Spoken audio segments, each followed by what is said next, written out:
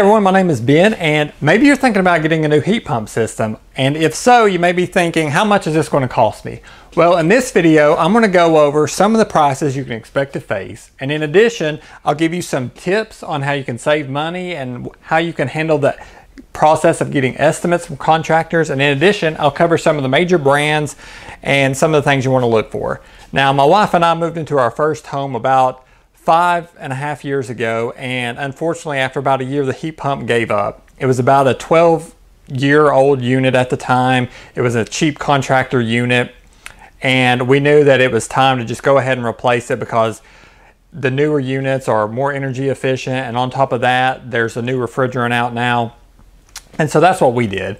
And the average lifespan for a heat pump is about 10 to 20 years, with 15 being average. So that's kind of the span of life you can expect to get out of a heat pump system before it gets to the point where it's either going to be so energy inefficient that it's not even worth it, or you're going to have so many part failures that you may as well just go ahead and fork out the money for a new one.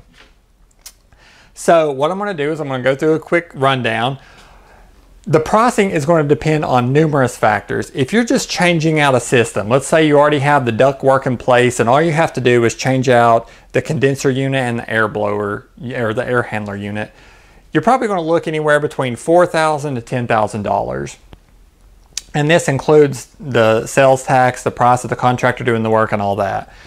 If you have to get a completely new unit and they're going to have to do the duct work and drill through the floor and all that, it's going to increase the cost quite a bit and you're probably looking at between six to twelve thousand dollars for a new unit. And again, it could even be a little bit more than that if you go for the super high energy efficient units, or if you're you have a large square footage home and you have to get a dual heat pump system or something like that. But for the average home, maybe between 1200 to 1800 square foot, that's the price range you're probably going to come to expect. Now, when I got estimates for a heat pump system, I went with, I got estimates from three different contractors. And that's one thing I would recommend is you get at least three to four estimates of different contractors so you can kind of see the different pricing, listen to them to see what they can offer you. This was about 2013 is when I got these estimates. The first contractor for a, for a Trane heat pump system, 15 SEER, two and a half ton with a three ton air handler, um, the cost was going to be $5,495 and that was to remove the old system and just swap it out. I already had the ductwork in place so that's how much that estimate was. I also got quoted a Goodman by the same contractor with the same specs, 15 SEER, 2.5 condenser with 3 ton air handler and this was going to be $5,475. It was a little cheaper but this one came with a 10 year parts and labor warranty whereas the Trane was just going to have a 10 year parts warranty and one year parts and labor warranty or labor warranty. So basically the Goodman was cheaper, but they factored in a 10 year uh, labor warranty with that. So that's why it was just only a little bit cheaper. Typically Goodman are quite a bit cheaper than Trane because Trane is a higher end unit. For the second contractor I got, and this just shows you how much the pricing can fluctuate, for a 13 SEER Trane, two and a half ton again, and three ton air handler. The price was $6,115. And for a 15 SEER Trane from this other contractor, they were going to charge $7,116. And these prices to me are kind of high because I had never known how much a heat pump costs. I figured it cost maybe a couple thousand dollars because you go into these stores and you have these window units and they're only a couple hundred dollars. I thought, well, surely heat pump's only like $1,500. No, you can expect to pay between 4,000 to $8,000 for a contractor to come and install one of these things. Ultimately, what my wife and I decided to do, we got a third estimate about a year later, and this was in 2014 from another contractor for an American Standard, and that is also the same brand as Trane. Basically, it's the same manufacturer and it has the same parts in it. For a two and a half ton condensing unit with a three ton air handler, the cost was $4,800 and we went with this contractor because we had a good feeling about him. He had a legitimate business, he was nice, and he did offer on the low end of pricing. A lot of people recommend you go with a person in the middle, but with him, he just, he was going to offer so much more. He was a nice guy. He wasn't presumptuous when he came to give the estimate, and I really had a good feeling about him. And it turned out it was a great decision. But anyway, $4,800 is how much we ended up paying for a heat pump. Now I'm going to quickly go through some of the things that are going to, to uh, affect the pricing that you may face. And the first thing is brand. When you go to get a heat pump system, whatever brand you choose is going to make the price quite a bit of difference. Like I said, with these estimates, a Goodman is going to be cheaper than these more established brands Trane and American Standard are pretty much the best brand. You'll find these have the best reviews. Most people recommend them. They really have a pretty strong hold on the heat pump market as being a quality product. They, they tend to have aluminum parts inside rather than copper, which means that they tend to last a little longer. And like I said, I went with American Standard, which is pretty much the same as Trane. We've had it a year now and it has worked great. We don't have any complaints at all. The second best brand is probably Carrier. And then after that, you have a lot of different brands. Goodman, um, it's came a long way, but some people say it's good, some people say it's not. Um, but a lot of people do have Goodman heat pumps.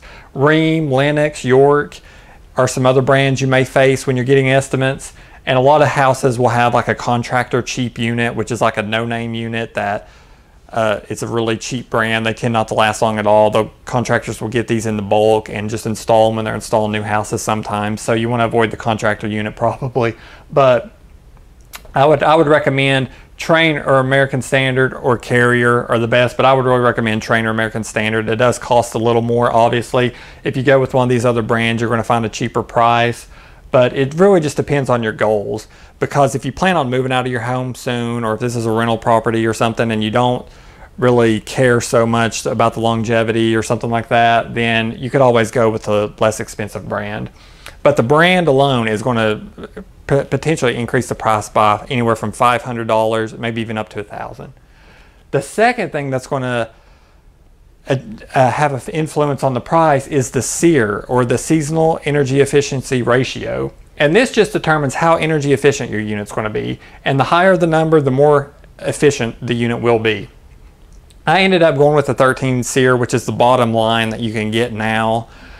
And the reason I did is because we may move and we really don't use our heat pump a lot, really just a couple months during the summer and during the winter I tend to keep the house quite cool and we don't need it that much. So I went with the 13 SEER because I didn't think the higher energy efficiency unit would really pay off over the life of the unit.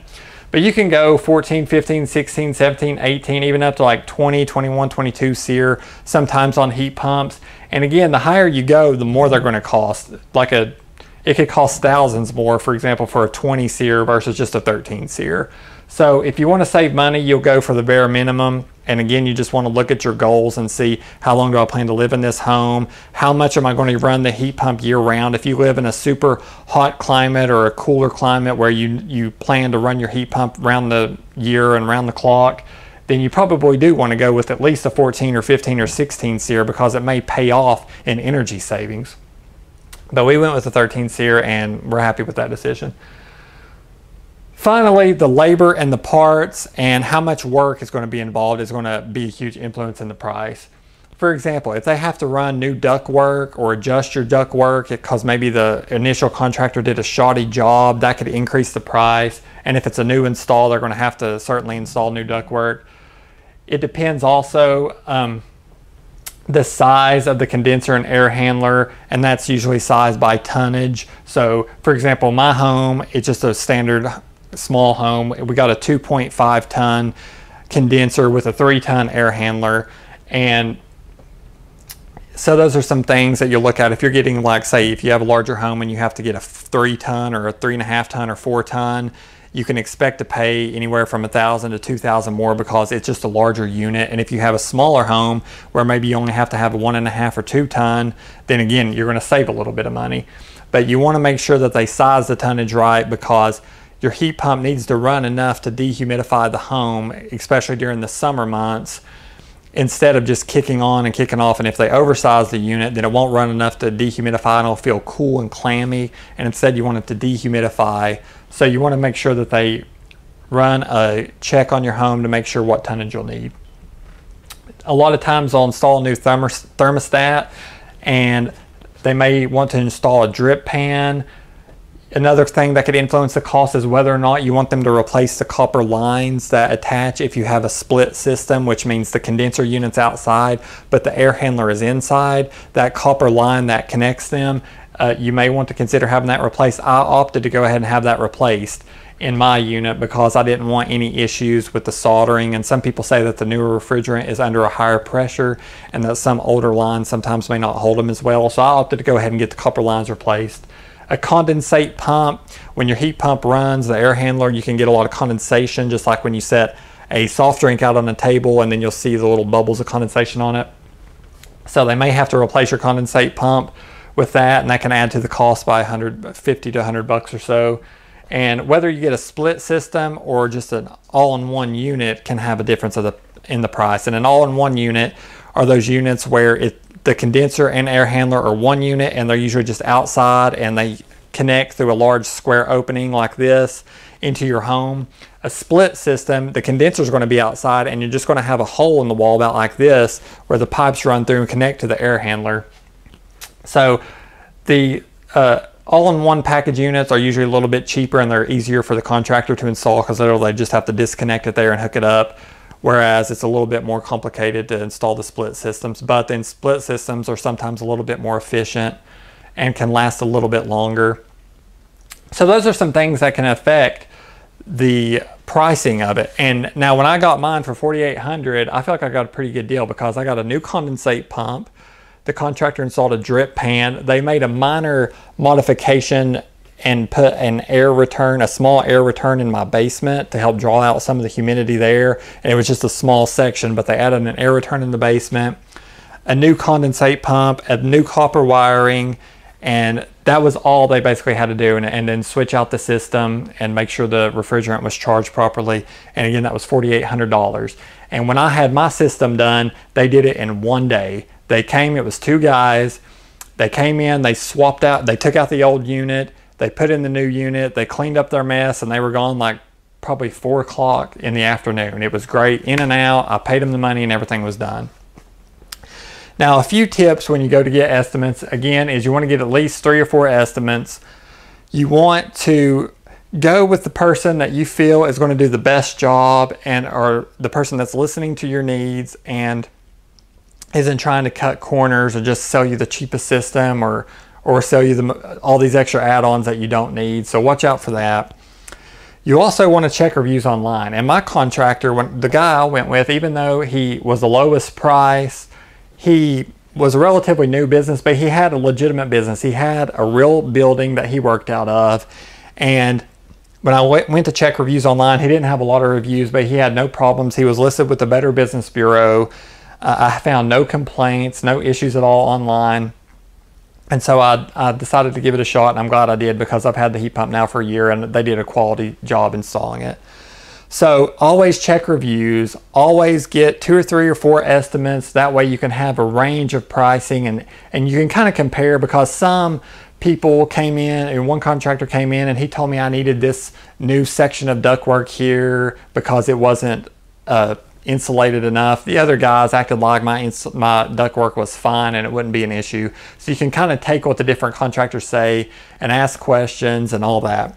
So that's a, some sample pricing for you. Uh, the reason I made this video is because when I was looking for prices online, I couldn't find anything, but they are quite expensive and you can look to pay quite a bit of money. It's probably gonna set you back at least about 4,000 or so if you have just an average size unit, upwards to about six to eight or even $10,000. And again, if you go for some of these extra higher energy efficiency units, then it's going to cost a little bit more money. So I hope that helps you out. Good luck with your heat pump purchase and thank you so much for watching.